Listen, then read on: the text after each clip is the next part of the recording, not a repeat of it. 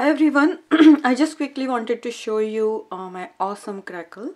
Uh, this is really a old technique um, which is first of all I got a canvas, plain canvas. Then I used this color. I like this uh, these kind of shades for my crackle technique. And then I used old gold um, school glue nothing fancy. First I painted this. I dried really well. Then I put some um, glue all over. I didn't dry it. Let it wait or let it sit for couple of minutes or a minute. Then I put the white. And then I just dried it with my dryer and look at this look at all these beautiful crackle.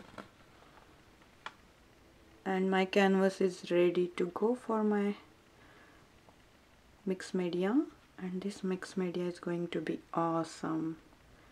So uh, this is quick small video to show you my crackles. My canvas crackles. Thank you so much for watching. Bye